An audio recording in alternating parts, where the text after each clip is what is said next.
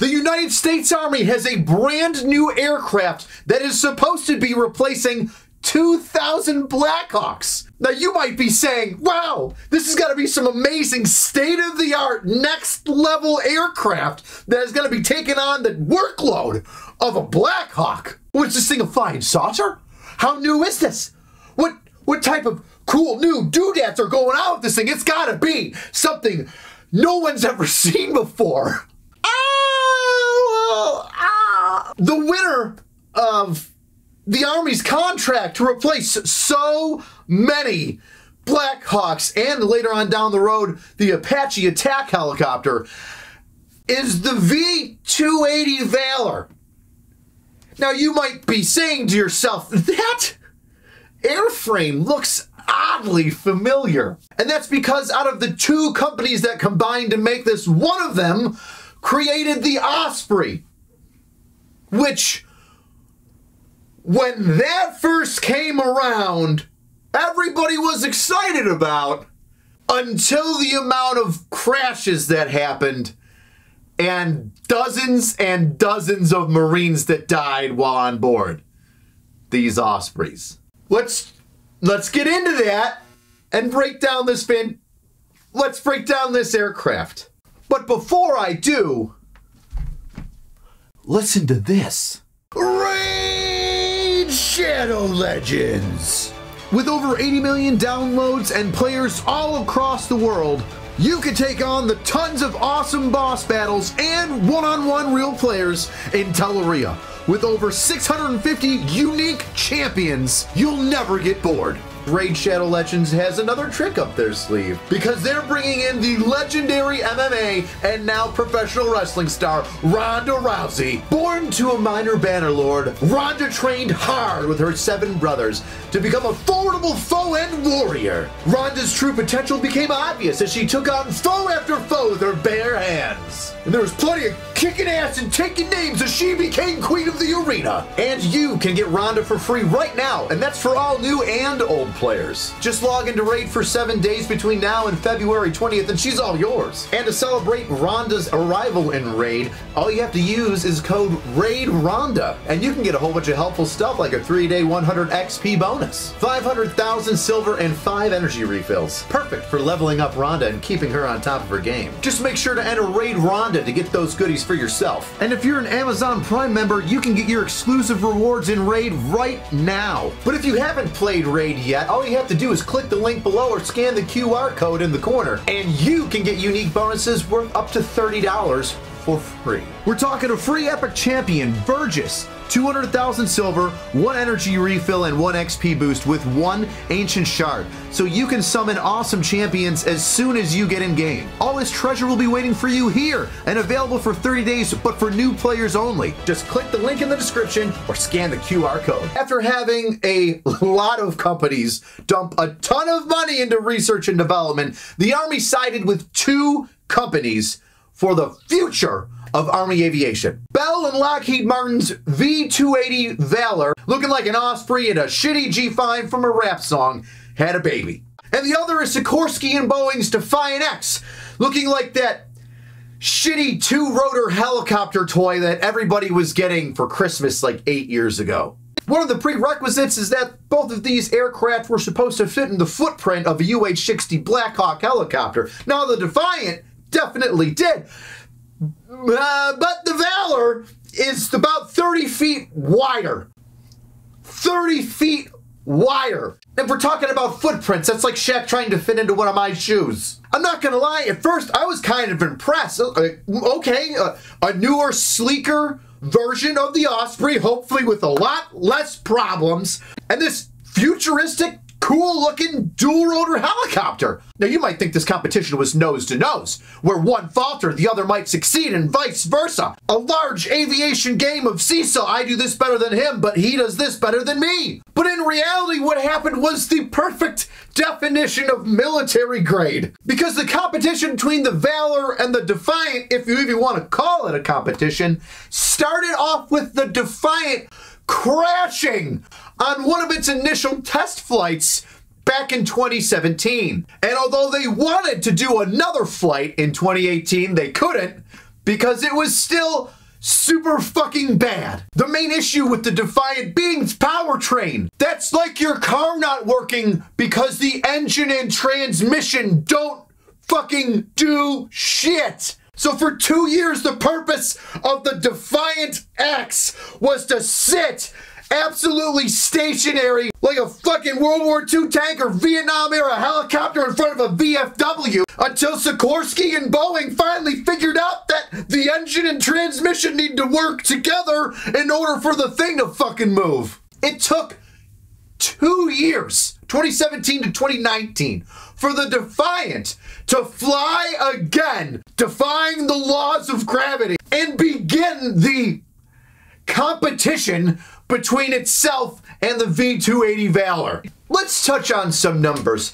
The V280 Valor, which a lot of people are having issue with the name Valor, because it hasn't really proven itself yet, is supposed to replace 2,000, not the entire fleet, but 2,000 UH-60 Blackhawks, the aviation workhorse of the Army. And that's supposed to get done by 2030?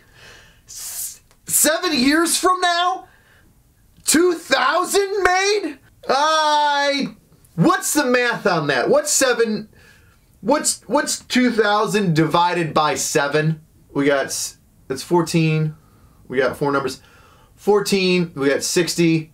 56 is what? Eight. Eight times seven is 56. We got four after that. 35 is five. So 285. That's 285 a year. That's two every three days. I, Oh man, I if I was a betting man, and I most certainly am, I would bet my fucking house, my crack house, that that shit ain't getting even close to three quarters fulfilled by 2030. Not to mention, about 1,200 Apache attack helicopters are supposed to be replaced by this as well. Uh, That's a tall order.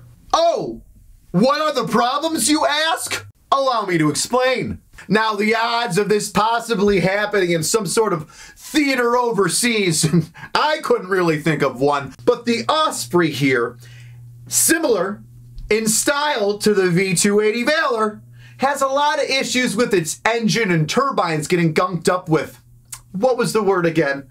Oh, sand and dust do these people think we're never to be back in the Middle East or a fucking beach? The big brother to the V280 is also sidelined and temporarily grounded in the Air Force. And not just like one frame, the entire fleet, because there's an issue with the clutch skipping and putting too much torque in one rotor and not enough in the other, and finally jerking the shit out of the fucking aircraft for a couple seconds, and then finally like evening out and being okay. That's the Air Force for you. There's an issue, let's set it down. The Marines, on the other hand, are like, we've already taught our pilots to deal with that, so we're gonna keep on flying it. They're good. Did I happen to mention that the overwhelming majority of deaths in Ospreys were Marines during its first several years? You'll wonder fucking why. But what if the Valor's fine? Bell and Lockheed Martin learned from all the mistakes done in the Osprey,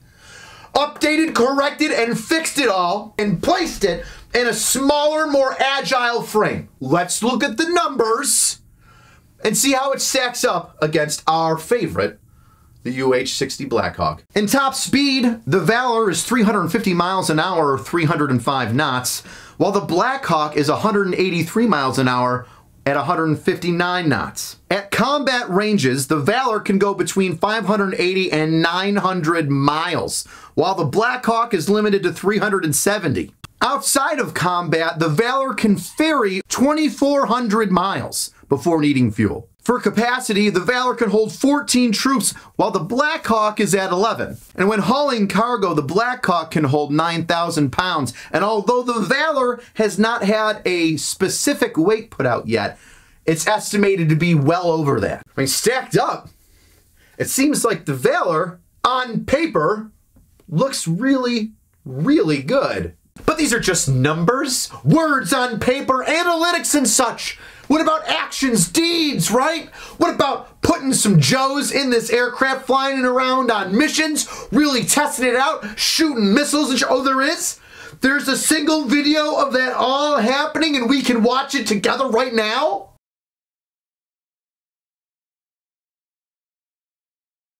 You go to school twice a day, bro. Not this time, Jack.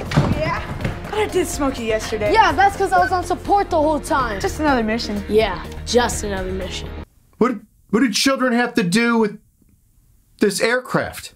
Oh, dude, check it out. I downloaded a new expansion pack last night. FVL? FVL. Sweet, future vertical lift. Super fast, can fly like forever and carry almost anything. Kids don't know what the fuck that is. FVL? SMD? We used to type 80,082 just so we could giggle at boobs on calculators. We didn't know what the fuck future forward landing bullshit acronyms were. Flies like an airplane and is like a helicopter. Oh, yeah. I can't wait to fly this bad boy. Oh, me too. Gonna be high and hot today. Yeah, the 2 says the target is a C2 compound on the border, well defended. Oh, C2, that's almost as explosive as C4. When the when is the flying going to happen? We got a new mission. You got the brief? Roger that, sir. It's supposed to be 100 degrees today. And we're going to what, 6,000 feet? You got it, Tom. Back when I was a platoon sergeant, a mission like that was, well, it just wasn't possible. Not anymore. We can get up there, do what we gotta do, and then go out and do it again. All right, well, so then fucking show us. Stop talking about it and be about it. What? What? I'm getting fucking blue balls just trying to watch this plane take off. We can go out and back more than 250 nautical miles and still hover and support your mission, even at that altitude. Well, that, sir. Who would have that, sir? I'm not saying that soldiers can't be actors. But if a fucking soldier ever said that in reality, you would know he's a Russian spy. Well, that, sir. Mateo, I'll see you back here on the flight line at 2200 Zulu.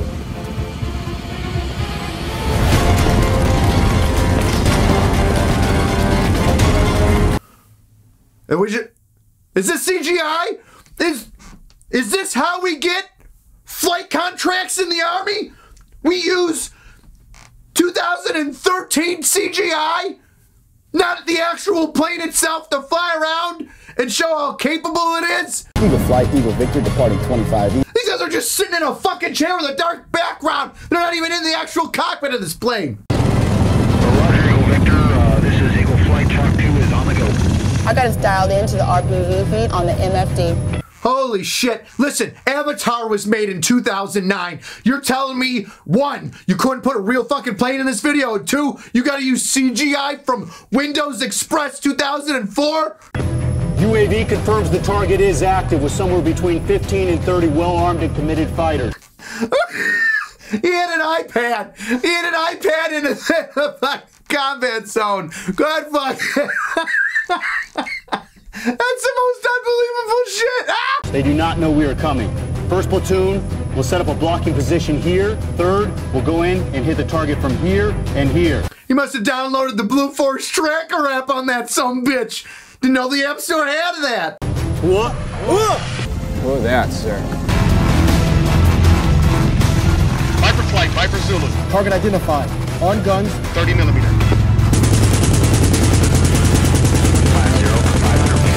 I couldn't find a video of its weapons demo. The Army went with something that we haven't actually seen its weapon capabilities yet. Just a fucking PowerPoint of what it could have. Armor vehicle in the open. On the way. What in the name of Robocop is that weapons drop down?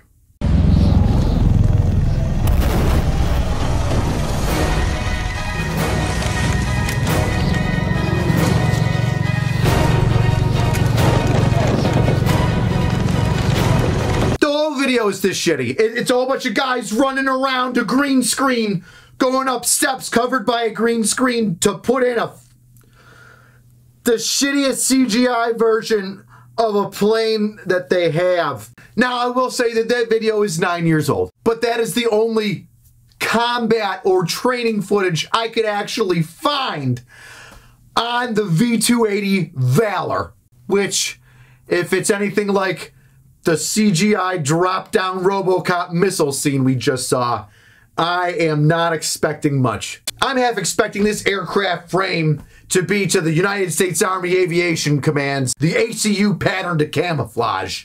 I mean, how many times did people try to get rid of the A10 Warthog just to have it come right back because it's so good at doing its job? Hey, Army, you can't have everything be a multitasker. Now, I'm not saying the UH-60 Blackhawk doesn't need to be upgraded or that we can't transition to some new fangled future flying mobile. I'm all about upgrading the military. But let's make sure we do it right and not just for the sake of upgrading something. All right. I'll see you next time, weirdos. Oh, and if you want Angry Cops gear, Black Friday, use the code Black Friday and you get 20% off the entire store until Christmas. Merry Christmas. 20% off. Angry Cops everything. Code Black Friday.